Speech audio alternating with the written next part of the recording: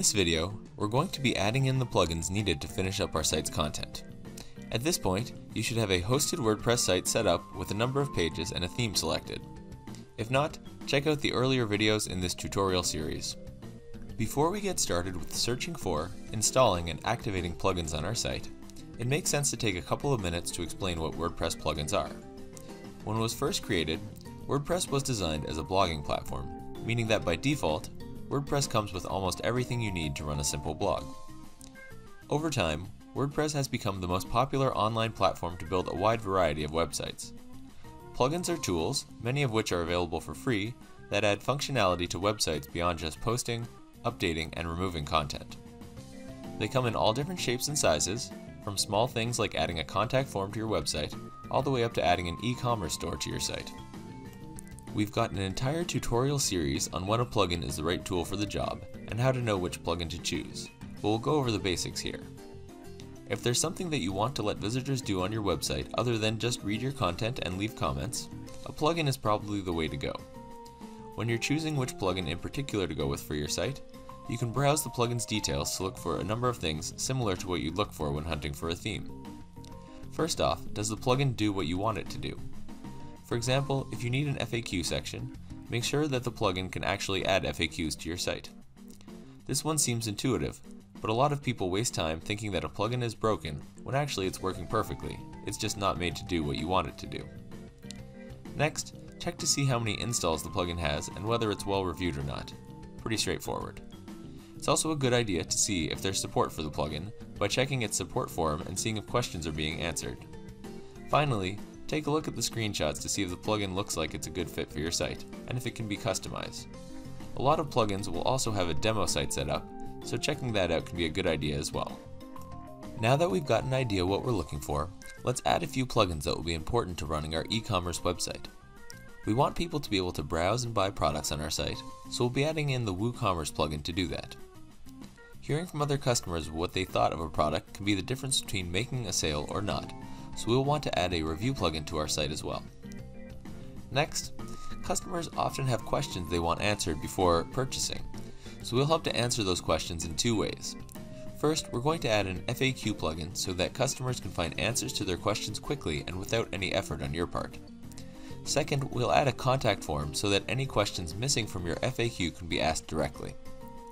Finally, we'll add a way for customers to track their orders through your site using an order tracking plugin.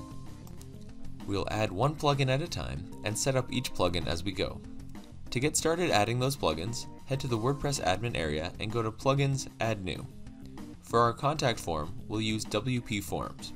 It's well reviewed, so type WP Forms into the search box, click Install Now, and then once it's installed, press Activate. You should see a helpful installation screen come up which we'll use to create our first form. Click the Create Your First Form button and select Simple Contact Form as a template. This form has most of the fields that we want for our contact form, name, email, and message, but it could be good to add in a subject field as well. Click on Single Line Text and drag it to just below email. Click on it and change the title to Subject. Let's also make sure that the contact form gets sent to the right email once it's submitted.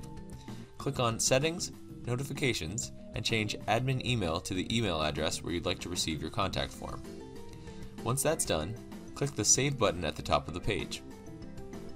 Next, click Embed and copy the line of text. The text inside of the brackets is called a shortcode. Shortcodes let you embed content from a plugin into your desired page. Click the X at the top of the page, then navigate to the Pages menu. Click on the Contact Us page we created earlier, and paste the shortcode that we just copied into the page. Open the contact page in a new tab, and you should now see a contact form on the page. We can try submitting the form, and hopefully you should receive an email with a new contact form submission. If not, check out our video on installing WP Mail SMTP by WP Forms, which can help to prevent problems with emails being caught in spam filters. Next, we'll use the Reviews Ultimate plugin for our reviews, since it's built to work with WooCommerce which we're using. Search for it and then click Install and Activate once again. We'll use the installation wizard again to get this plugin set up, this time creating a review category called Featured. We're going to use the built-in WooCommerce integration, so we won't create review submissions or review display pages for the time being. To do that, we'll activate the premium version 7-day trial and enable some of the premium options so that we can get the integration that we want with WooCommerce once it's installed. Go to the Dashboard tab of the plugin and click on the Start Free 7-Day Trial button. You can open the guide to using the premium version in a new tab if you're looking for tips on how to take advantage of all the premium options, but for now, head to the WooCommerce section of the Options tab. Set WooCommerce integration to yes, and then click the Save button at the bottom of the page. For our FAQs, we'll use the Ultimate FAQs plugin. Once it's installed, go through the installation wizard again. We use the installation screen to create a couple of FAQ categories, as well as a few FAQs. We'll leave most of the settings alone for now, and end the installation screen without creating a new FAQ page. Next, go to the Pages section, open the Frequently Asked Questions page, and add in a new FAQ block to the page. Update the page, and you should see that your FAQs are displayed when you open it in a new tab. We're also going to activate the free trial so that we can create individual FAQs for our products in our WooCommerce store. Go to the Options tab and toggle on WooCommerce FAQs. If you need help with how to add FAQs to products, check out our product FAQs video linked to in the description below. Finally, let's get WooCommerce installed and set up. Search for WooCommerce and then install and activate it. We're going to use the installation wizard to do most of our basic setup, and then manually create a few products and categories to finish our plugin setup. Start by setting your home country and address. Your currency should automatically adjust, and you can either leave usage tracking on or turn it off.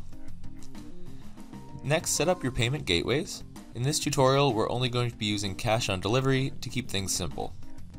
Next, set your shipping rates, and you can either leave ShipStation integration turned on or turn it off.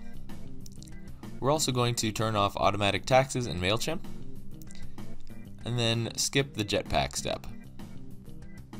That's it for the setup wizard for us, so we'll go to the dashboard, and then from there we'll create our first category in WooCommerce.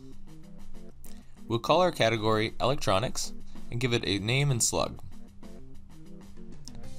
After that, we're going to create a second category called Accessories, and we'll also give that a name and slug. The next step after that is to create a product, which this time we'll call Keyboard. We're going to give it a description this is an electronic keyboard, and then enter a price for it below.